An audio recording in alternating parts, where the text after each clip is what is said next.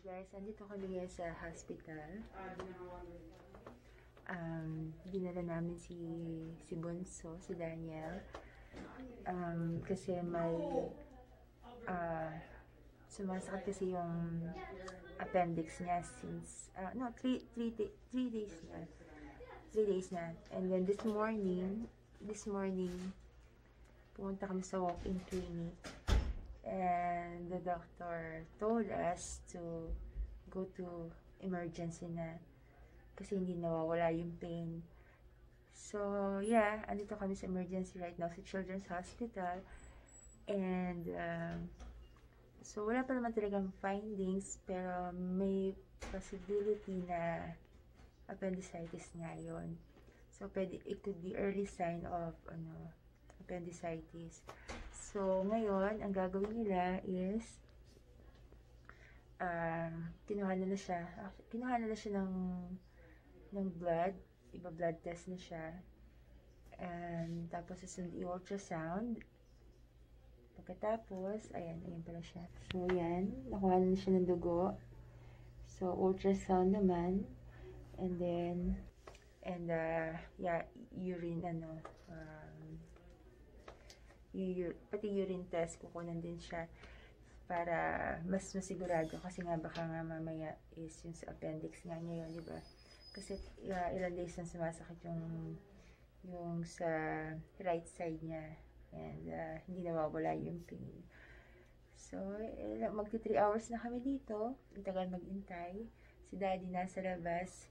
Nasa labas ng hospital.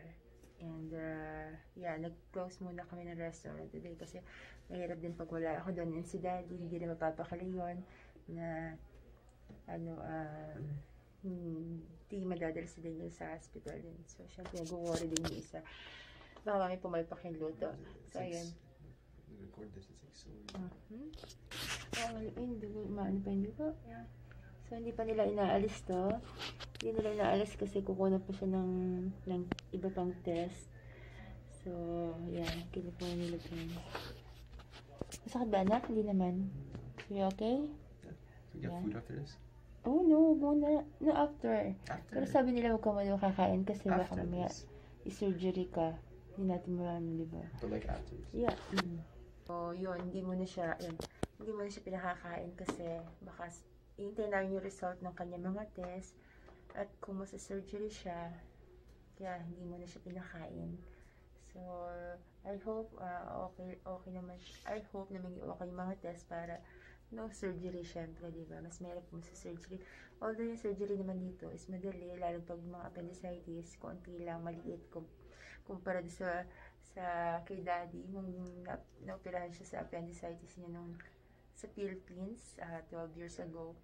Grabe, laki ha, ganito, ganito ang hiwa niya. So, dito naman daw, sabi maliliit lang. So, yun, sana maagapan. So, ah yeah, update ko kayo later. And, yeah, hopefully, uh, it's gonna be okay. Okay. So, ayun na nga. So, confirm na um, isa surgery na si Tutoy later. Hinintay lang namin ang surgeon niya and uh, kung anong oras siya isa surgery. And sa sobrang gutom ko yan. Pinagdala ko ni daddy ng pagkain ng McDonald's, charger, damit, and everything. So, yan. Since morning, hindi pa kami kumakain ni Bunso. Naka-ready na anytime. Nihintay na lang sir. So, since morning, wala pa kami kinakain kahit ano. And anong oras na dito ngayon? Alas 5 na ng hapon. Itong Burger McDo, ito na siguro yung pinakamasarap na burger na kakainin ko in my entire whole life. Sa sobrang gutom. Gutom na gutom na ako. Okay. So, yan.